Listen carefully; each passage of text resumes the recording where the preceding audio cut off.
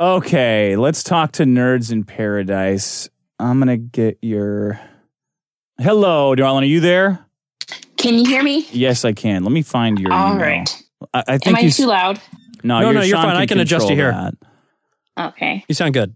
Okay, I'm gonna read. Hi, guys. Hi. Hi. Sorry. I suck at new technology stuff. Don't say that. You're doing great so, I far. do. Boy, you're you should I yeah, do. you're head and shoulders above a lot of people. Oh yeah. Um, Well, that's nice. hmm So, um, Sean, Um, I don't know if you remember me. I don't know if Dick remembers me, but I gave you guys knitted cows at your Road Raid Vegas show. Oh yeah, Yes. yeah, yeah, yeah. That's yes. me. Oh, nice to nice to talk with you. I Yeah, love those. hi. Uh, it looks amazing on 80s Girl too. By the way, thank Really? you. Yeah, Woohoo. they're like little as long as tops. somebody Yes. gets some use out of it, I'm happy. Here's what you sent me a quick rundown on the racist knitting. And you know what's weird? After you sent this to me, I think like a week or two Racist ago. knitting. Yes, it's- Did it's- somebody Yeah. say the word knitter? I'm a knitter, and um, crazy shit has been happening in the knitting world that I thought you guys would find interesting I think I, because it's a tr- it's a trash fire I everywhere. just KO'd Dick. I'm sorry. It was so it was just the lowest hanging fruit. Knitter. Yeah. So um, I put a small timeline together, Dick. If you want me just to tell you what's been going on. Yeah, but it wait a minute. Correct me if I'm wrong, but there was like a knitting controversy two weeks ago from uh, from one of the big knitting websites, right? Yes, Ravelry. That's Yeah, one Ravelry. of the newer thing. That was it, and I saw that, and I'm like, no fucking way. That's what um, that's what Oh, Nerd in yeah. Paradise said. Yeah, so I'm going to give you just a quick rundown because it explains why what happened at Ravelry happened. Okay, So I've been knitting since 2009. okay, 10 years. And until 2016 and the whole Trump thing, I'm Mhm. a libertarian, so I don't really care what people think about Trump. But until that point, it was just knitting like it should be. I made something cool. Let me show it to you. Mm-hmm. And then the pussy hats started. Mm-hmm. Oh, those had to be knitted, of- right? Yes. So all of these liberal people, all of these liberal women, feminists decided, hey, I need to learn how to knit because I have to make this cool pussy hat and walk down the street in it. Well, it's a very hipster thing to do in, in Los Angeles. They're horrible. knit? They're ugly, yeah, and I hate big them. time. Yeah, my sister picked up knitting. I uh, and late at night I threw all of her stuff into the garbage. Yeah. fuck you. You're not getting into this. Yeah. So, so that's what started turning knitting from just a fun thing that people do into a very liberal minded thing. yeah. You're making a political statement. very, very political. And in January of this year, Politicized Um, knitting. there's a woman named Karen Templer, and she owns a very popular knitting bag company. She makes like the Birkin bag of knitting. It's like the Okay. number one thing. And she wrote a blog post about how excited she was to go to India this year, that she was craving color and she had always wanted to go to India, and that um, getting to go to India was like getting to take a rocket to the moon because she never thought that she would get to go. Mm-hmm. And as soon as that blog post was put up, because she's white, you are a horrible, nasty, disgusting, racist person. You're saying Oh. that Indian people are from Mars, that they're aliens, that you can just Oh. go and take their culture. Oh You're my saying that God. because you don't have any color, you have to go take their color. Can you imagine? These people are exist and they're serious. well, it's so funny to me because it's a community where there's no men. I mean, I don't know. I don't not a knitter. there are men, but they're but they're mostly gay men. yeah. So do Um, they count? They're not they're not cis men. I got like I don't know. Yeah. they're not no one like Yeah. me is in knitting. So I'm im- Exactly. imagining the kind of shit that Yeah. gets that they pull at a knitting convention. I know. Um, so when this happens in January and people are all upset at her, she does the exact thing that you should never do in this situation and apologizes. Oh, She says, It Ugh. doesn't matter. That's not how I intended it. I am a horrible white person for writing this post and not thinking twice about what I said. yeah. what did you read the the post uh, verbatim? No, that, that was me paraphrasing it because it's about 900 words long. Oh, Oh, yeah. Christ! It's it's huge. So this spirals across Instagram, across Ravelry, Um, there are a lot of really popular knitting um, podcasts on YouTube because it's easier when you have video to show people the crap that you're making. Right. And anybody who isn't fast enough to say, yes, we have a problem with racism in knitting gets decried everywhere. They're horrible. They're disgusting. What the hell Um, is wrong with people? What It's the hell? is- yarn. It's just knitting. yarn. and and even even people who step up like there's a very progressive uh, woman named Christy Glass. She put this big Instagram post about how she loves all of her BIPOC makers. Do you know what uh, BIPOC stands for? no, I do not. It's Black Indigenous People of Color.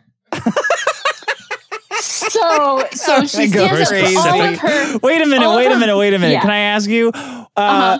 Do uh, do they knit? Do do they knit in Africa? Like, don't you only need to knit where it's cold? No, no, you can knit anywhere because you can make almost anything out of knitting. You can make baskets, you can make sandals. Yeah, knitting's um, the you can make technique, right? blankets.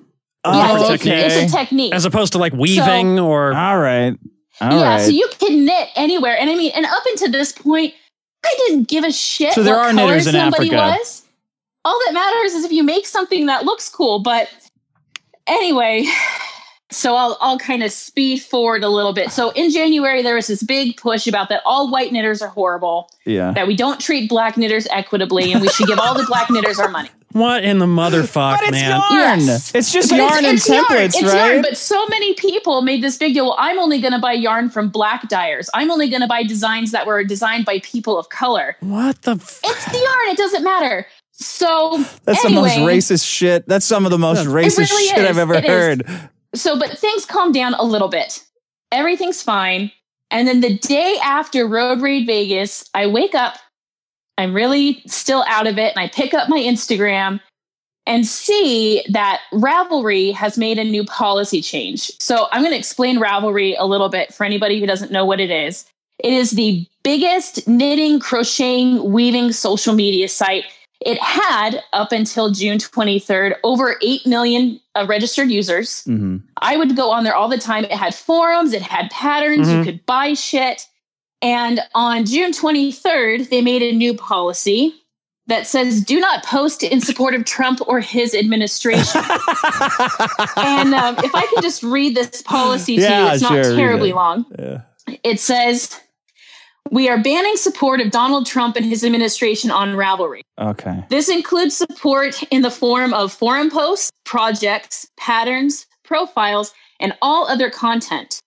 Note that your project data will never be deleted. We will never delete your Ravelry project data for any reason, and if a project needs to be removed from the site, we'll make sure that you still have access to your data. but can you Even shit? Can you shit on the administration for any reason? Yeah. Can you do a Yes, Trump I'm getting there. I'm getting Yeah. there. Okay. Sorry. Even if you're permanently banned from Ravelry, you'll still be access be able to access any of your patterns. We cannot provide a space that is inclusive of all and also allow support for open white supremacy. here's here's the best sentence in the whole policy. Support of the Trump administration is undeniably support for white supremacy. Oh, sure. Yeah. Half Yeah. the country's a white supremacist, John. Exactly. Uh, so they updated their community guidelines to Wonder how say you can left. still, yeah, you can still participate if you do support the Trump administration. You just can't talk about it here. Mhm. Uh, we're definitely not banning conservative politics. Uh, hate groups Yeah, and are. intolerance How is, are how is that not a ban of conservative politics? He's Yeah. a he's a Republican president. How the hell is that not a ban? Uh huh. So then the Uh. next one I find very interesting. It says, do not try to weaponize this policy by entrapping people who do support the Trump administration into voicing their support. So you Oh can poke and prod people. We tell you not to try to do it, but you can. Yeah. So, so It's people insane. ask Ravelry. I haven't gotten over that People- first statement about going to India. Yeah. Yeah.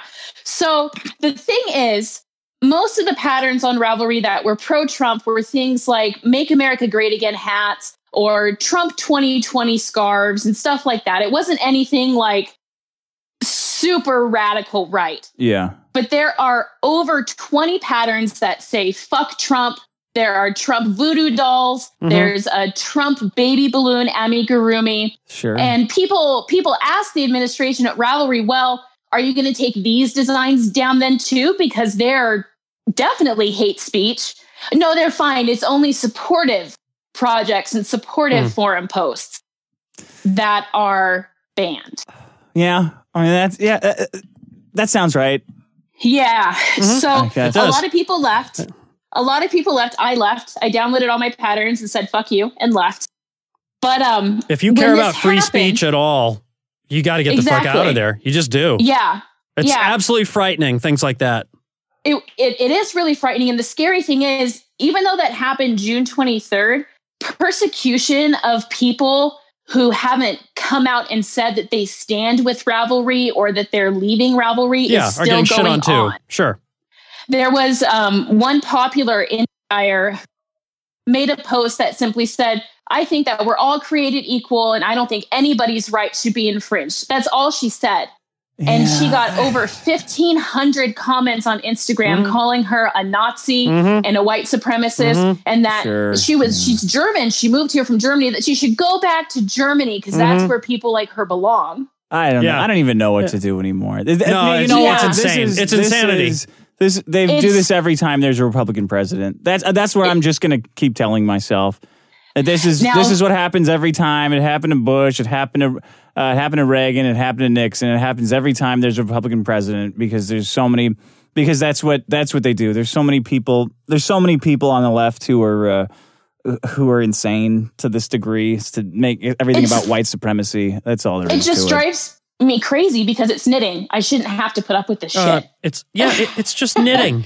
Yarn. and uh, the most What the else most do you have, thing- Sean? What do you have that's not made by black people? What, like, what- can you put?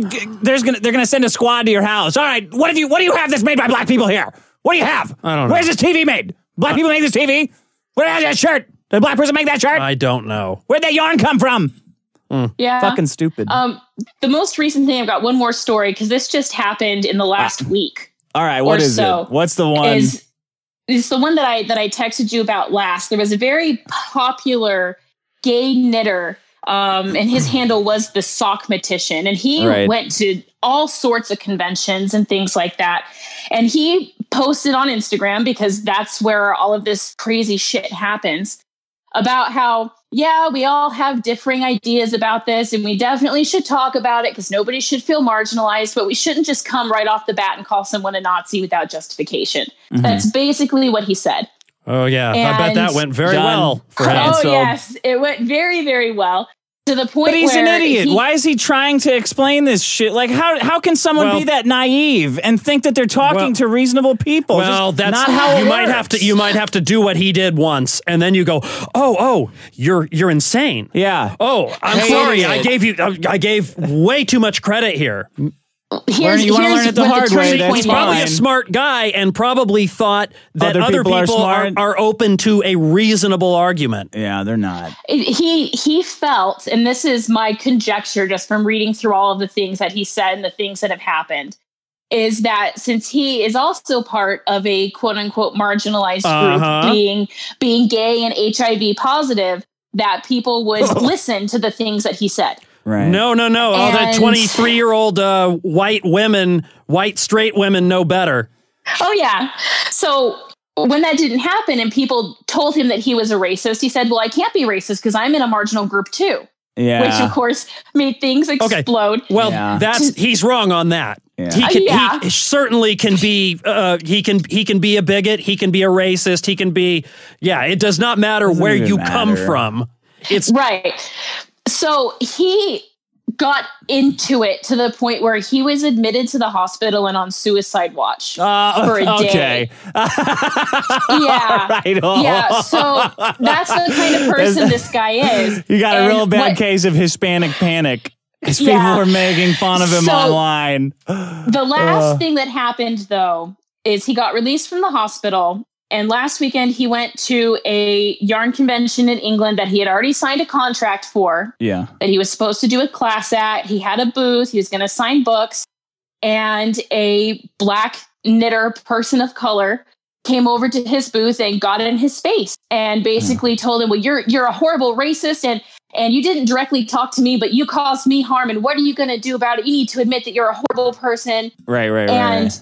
he allegedly he physically assaulted her but there's no videos of this which is weird because every knitter has a phone for instagram and you would think being surrounded by knitters there Hmm. would be a video of him physically attacking someone. They someone probably didn't have their phones in their hands. They had Yeah. like the little fucking needle thing. They didn't want to the- get HIV from Oh. taping. who knows All who right. knows but Thank you, Amanda. started- Thank- it's fucked. Knitting, Yeah. the knitting world Well, is th- completely fucked. Whoever there's there's have a current thing going around this week that all white knitters need to come up and admit their white fragility well, don't give We into to it.